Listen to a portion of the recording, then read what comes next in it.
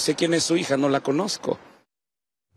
Bueno, seguimos aquí en la mañana cada día y ya les estamos adelantando esta entrevista muy importante, de verdad. El consultorio de la mañana cada día da la oportunidad de tener a verdaderos profesionales para hablar sobre temas específicos y enfermedades específicas. Y hoy, diabetes. Ya nos acompaña la doctora Natalia Arce, que es un lujo y un privilegio que esté con nosotros aquí para hablar de este tema tan importante. Doctora, ¿cómo le va? Bienvenida a la mañana de cada día. Es un lujo que esté con nosotros hoy. ¿Cómo estás? Gracias, muchísimas gracias por la invitación. Agradecida de estar acá, poder conversar sobre un tema tan importante irrelevante que es la diabetes. Bueno, empecemos a hablar porque también la gente puede participar a través de las redes sociales, a través de WhatsApp si quieren hacer una consulta. Hablemos primero de los tipos de diabetes, ¿verdad? porque existen varios tipos. Claro. Primero vamos a empezar con la definición. ¿Qué es la diabetes? Claro, ¿qué es la diabetes? ¿Qué es la diabetes? Eh, es una enfermedad crónica que se caracteriza por tener niveles elevados de glicemia en sangre, sostenidos, ¿sí?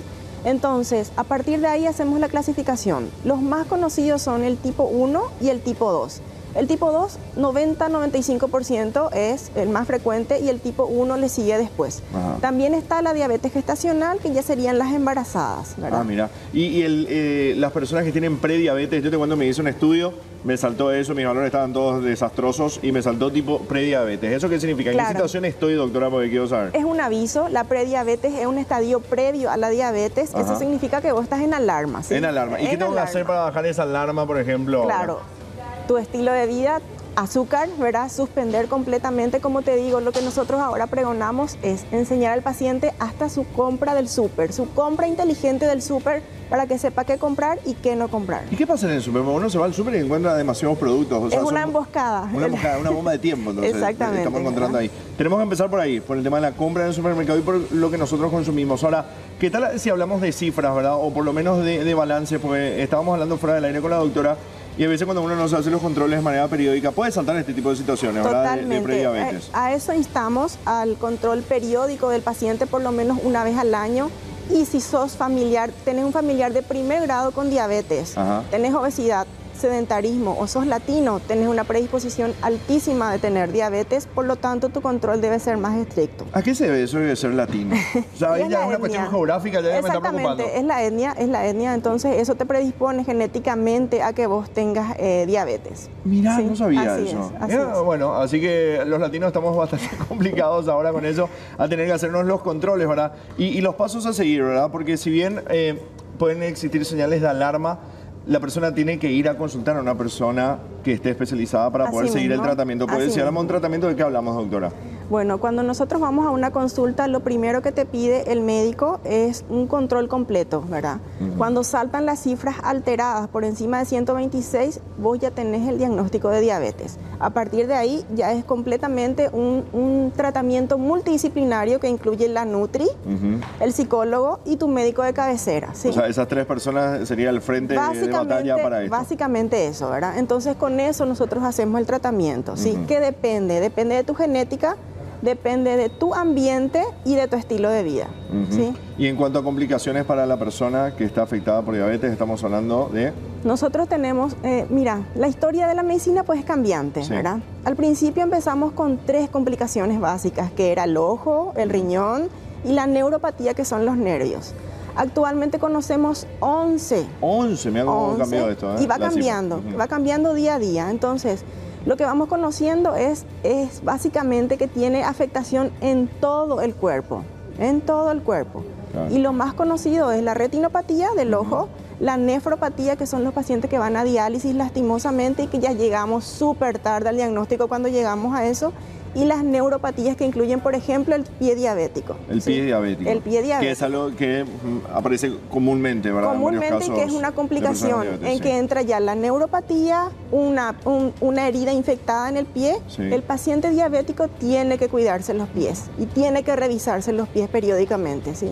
Hace, poco estábamos mirando y compartimos nosotros acá en la mañana cada día unos materiales que aparecían en los diarios, en los periódicos, ¿verdad? De, de todo ese proceso que uno puede prevenir para llegar, por ejemplo, a una a una situación más extrema. O sea, existen nuevas metodologías, porque si no aparecen nuevos sectores dentro del organismo que pueden ser afectados, también existen nuevas soluciones, me imagino, con respecto a esto. Por supuesto, pero ahí voy, Chiche. Con tu prediabetes voy a tener que cuidarte, ¿verdad? O sea, ya es un estadio previo y ya es un signo de alarma en tu cuerpo para que no llegues posteriormente a una complicación así que normalmente son 10 años, ¿verdad? Ah. O sea, desde el diagnóstico vos tenés que estar 10 años sin cuidarte para que puedas llegar a eso. Te Ah. parece mucho tiempo, pero el tiempo vuela. El tiempo vuela, realmente. Sí. Eh, esto es muy importante para poder generar conciencia más que nada en la ciudadanía y, y en nuestro país, por sobre todas las cosas. Un país muy sedentario, es un Así país que se queda muy quieto, no es de hacer tantos deportes. La recomendación entonces es hacer ejercicio, caminar, eh, poner en este caso en movimiento nuestro cuerpo, ¿verdad? Así es. Y de las dietas es todo mundo también, ¿verdad? Claro, por eso de las dietas ya cambia porque ya es según cada persona, ¿verdad? Por eso el tema de la nutricionista es clave en Sí, este proceso, ¿verdad? Totalmente, es un tema totalmente aparte, ¿verdad? Y incluye, eh, por ejemplo, te comento, eh, el ayuno intermitente que está tan de Está moda. de moda, sí. Está súper Muchos de están moda. practicando el ayuno intermitente, Sí, sí. sí, que es, que es algo totalmente eh, eh, factible, interesante y que el diabético puede hacer sin problema, inclusive el insulino dependiente disminuyendo su dosis puede realizar. Mira qué, qué bárbaro. Y hay personas que incluso se hacen algún tipo de operaciones y dicen, bueno, listo, yo ya evité la diabetes. Bueno, no es En ese caso, así. bueno, eh, justamente por eso quiero aprovechar y quiero hablar, porque hay gente que se hace este- estas operaciones que están muy de moda. Sí, la cirugía bariátrica es, Esa- es un esa tratamiento cirugía. también que proponemos, ¿verdad? Que reduce completamente, inclusive el paciente puede dejar de utilizar insulina, pero si recaen los mismos hábitos nuevamente, va a volver a lo mismo. Acá lo que tenemos que hacer es constantes y bastante estar bastante centrados en cuidarnos, ¿verdad? Porque Así la es. alimentación eh, al fin y Es al cabo es básico. la base de todo. Alimentación y ejercicio físico. ¿sí? Nuestra actividad física es fundamental. ¿Esto influye en la edad, doctora? Eh, en el sentido de que una persona puede tener diabetes desde qué momento? Claro, eh, como te expliqué, el tipo 1 son, son más en niños, ¿verdad? Sí.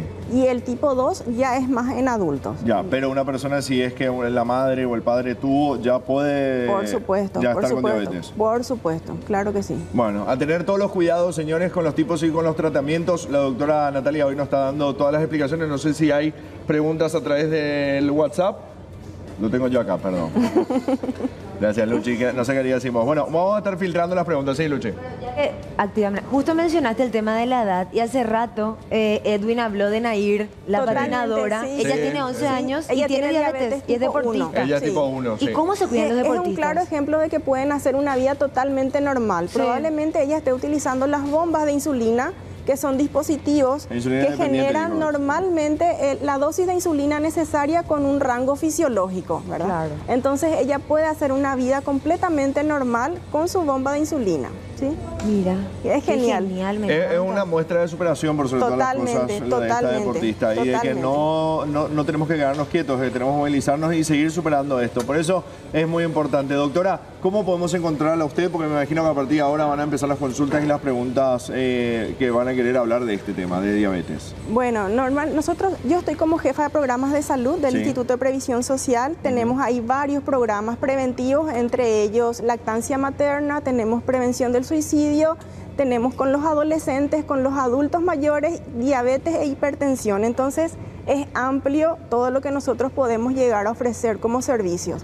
Pero con diabetes siempre nos centramos más porque es sumamente prevalente, tenemos un 10.6% de la población con diabetes, eso es muchísimo. Qué bárbaro, ¿no? Y Por- por la cantidad de 50%, habitantes que, sí. que- que tenemos en Y Paraguay. 50% chiche que desconoce su condición. Por eso hay que hacerse los análisis. Totalmente. A hacerse análisis, señores, ¿eh? y a evitar este tipo de situaciones y a cuidarnos entre todos. Doctora, muchísimas gracias por venir en el programa de usted y le quiero agradecer por ser parte de este ciclo de consultas que tenemos en el programa. Gracias, Chiche. Gracias. ¿eh? La doctora Natalia Pérez con nosotros, Natalia Arce, allá la digo bien, con nosotros aquí en la mañana de cada día. Bueno, vamos a seguir con el programa, tenemos que ir a la cocina y ojo, ¿eh? La doctora Natalia Arce está acá con nosotros, ¿eh? Ojito con lo que van a cocinar hoy, que no sea que sea algo que complique y que empecemos a entrar en esta etapa. Yo voy a empezar a cuidarme ya.